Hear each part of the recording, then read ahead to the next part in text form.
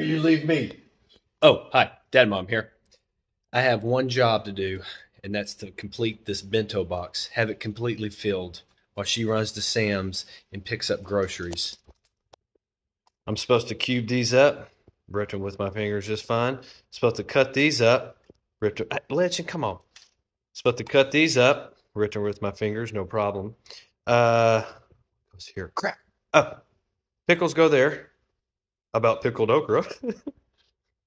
Oh, cut those up. Supposed to go there. Cram them in just fine. Uh, carrots. You got ranch for dipping. Oh yeah, and pretzels go there. So, voila, one bento box down. Dad, mom, over, out.